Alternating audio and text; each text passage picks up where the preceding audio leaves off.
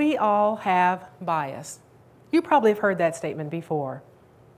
The fact is, we all have unconscious beliefs about different groups, and they are inconsistent with our conscious values. It's also called implicit bias.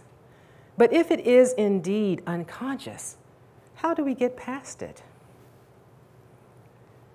I was in an airport a while back, and the gate attendant called for first class to board. As a leadership trainer, I log a lot of air miles, and so it isn't uncommon for me to fly first class. I fell into line like I normally do. Single file, heading to the gate attendant, boarding pass in hand, extended it to her, went off to the side. A man who had been waiting against the wall strode over and placed his boarding pass over mine. I mean, right? I'm sure for many of you, that would have earned that man your best glare, wouldn't it? I mean, probably the real side eye, right? But for many of you, as it did for me, it might have struck an even deeper chord. If you have any frame of reference to civil rights or denial of civil rights, then what that man did might have carried a deeper insult. Now, I've never had my civil rights denied, but my parents, who were great storytellers, would share experiences about growing up back in the day. And I remember them talking about when they were courting, how they liked to go to the theater and they would hold hands and they would sit in their designated section in the balcony, or how much they enjoyed going to the colored swimming pool with their friends.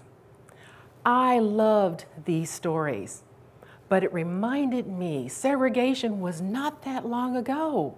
And when that man, white man, when he strode forward with such confidence and placed his passport passing over mine, it was like a, a punch in the gut. There were other women that were in that line, but I was the only black person. So the visual was very stark. And I say this as an example of bias that led me to my journey in discovering how to move past my own unconscious bias. We've learned through studies that unconscious bias can start in the early years. That really wasn't my experience. Growing up, I, I grew up in a beautiful small town in a home my parents built. We worshiped in a multicultural church built by our ancestors. I went to a city school, diverse student body, overwhelmingly fair teachers, so I never really felt that I didn't belong. Likewise, I was raised to appreciate the differences in others. I got along well with a wide variety of students. I love foreign language. I had half a dozen pen pals from around the world when I was in high school. It wasn't until I started traveling and when primarily in the higher boarding groups, and most frequently involving men. My reaction to this was one of conflict avoidance better to lay low because I'd seen examples.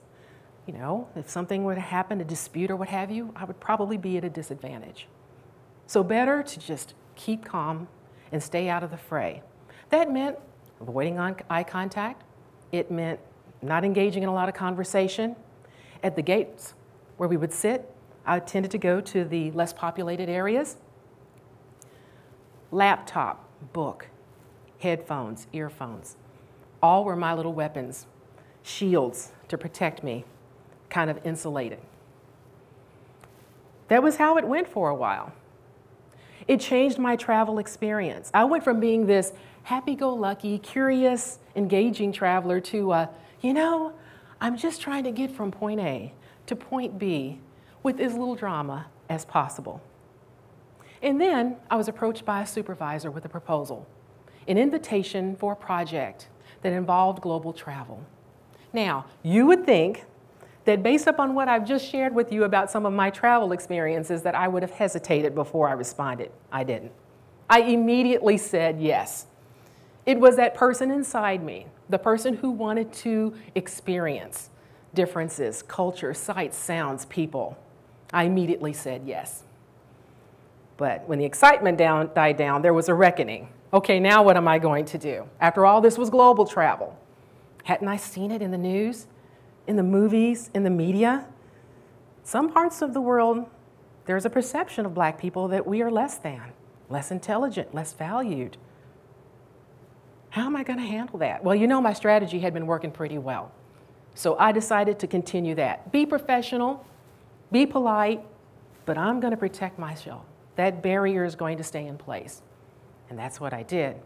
If there was any doubt in my mind, it was reinforced when that supervisor, before my first adventure, came to me and during the conversation said, How are you going to deal with racial prejudice when you encounter it?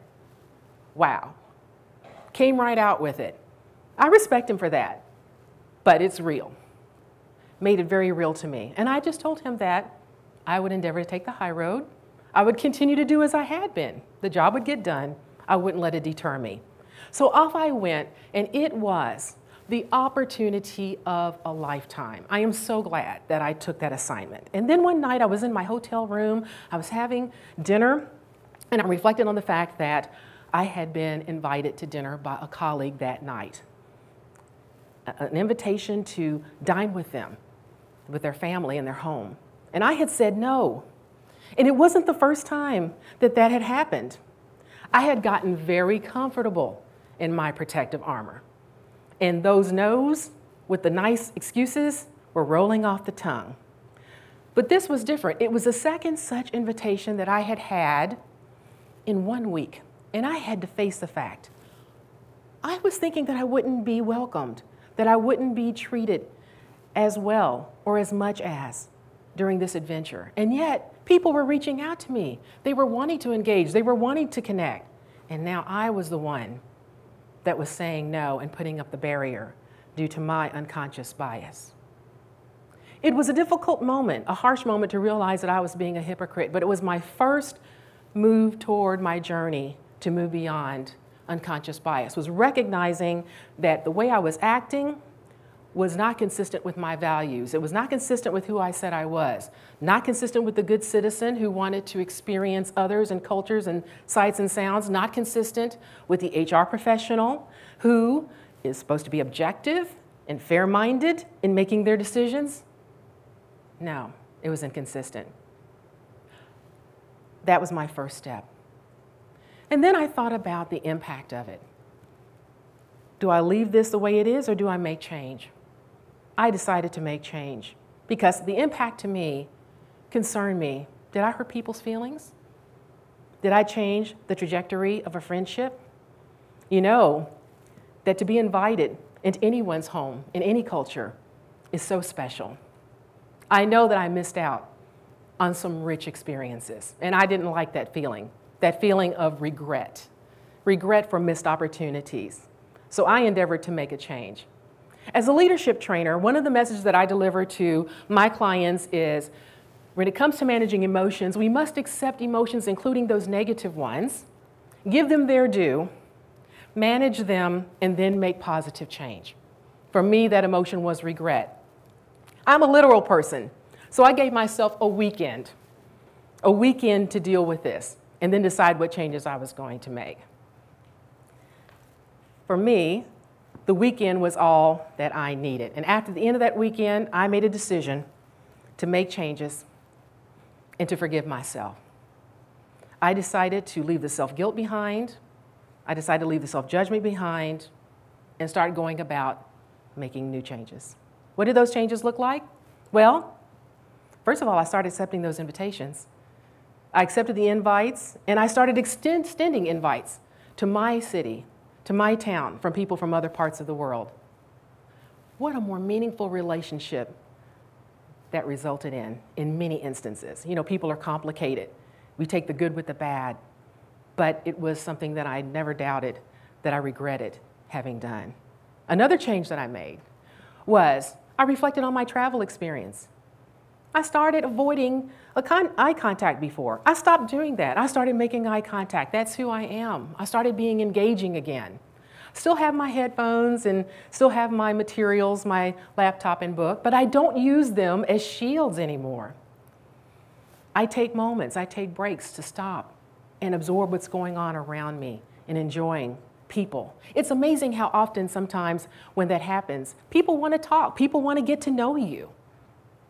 It's very important. Of course, there are still the negative situations. They do occur from time to time.